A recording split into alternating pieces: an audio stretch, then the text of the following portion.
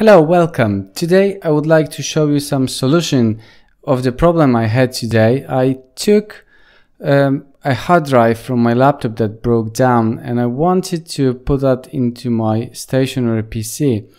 And when I connected it, there were two partitions on it, as you can see above. Of course, now you can see the situation when everything is solved, but I will take you through how I've done it and how I solved it.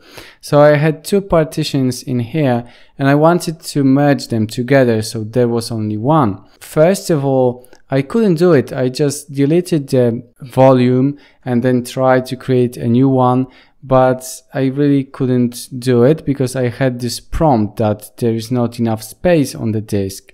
So I downloaded plenty of different softwares from internet and the free versions of them couldn't really help me. So here it is how you can do it. Now I will show you how to go to this disk management if you didn't know how to do it. So just go to start and type this and it should pop up so you can just open it.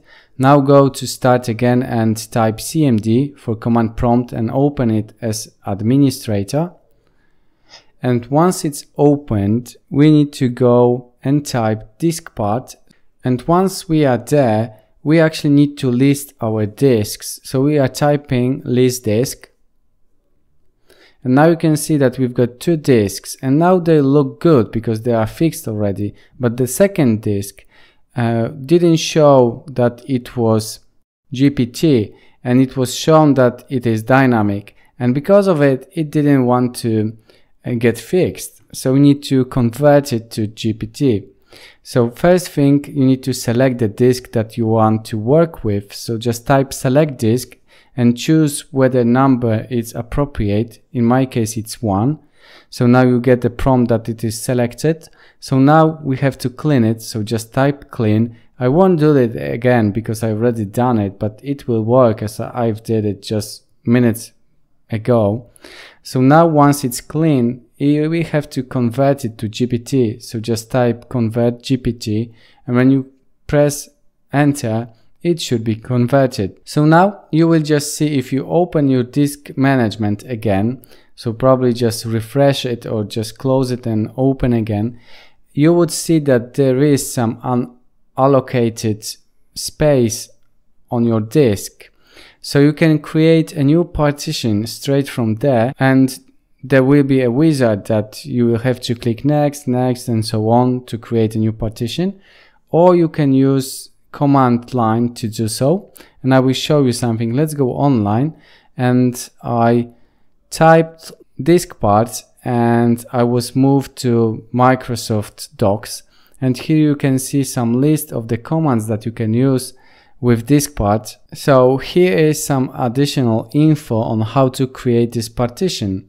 So actually, as I said, you can do it in disk management or you can do it straight in the command line.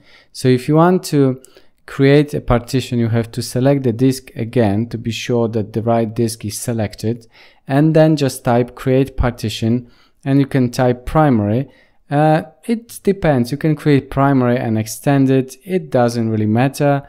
If you want to keep only one partition or two, uh, the primary or extended, you can choose either of them. It doesn't matter. But as you can see, when I did it with the disk management, it created the partition as primary.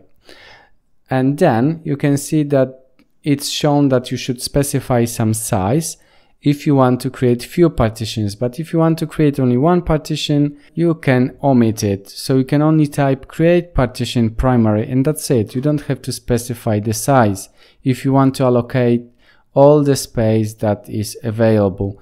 So once again select disk and the number of the disk create partition primary then assign letter. If this is your second disk like it is in my case so I've got the disk C and then you will just assign letter D. Of course, if you had more disks and you want to assign the third disk, you would put an E, okay? So I hope this is quite easy. And in the end, just exit the diskpart. So just type exit and you are off. And this is pretty much it. This is how you solve it, how you convert to GPT and in most cases probably it will work. So I hope you can manage it and see you in the next one.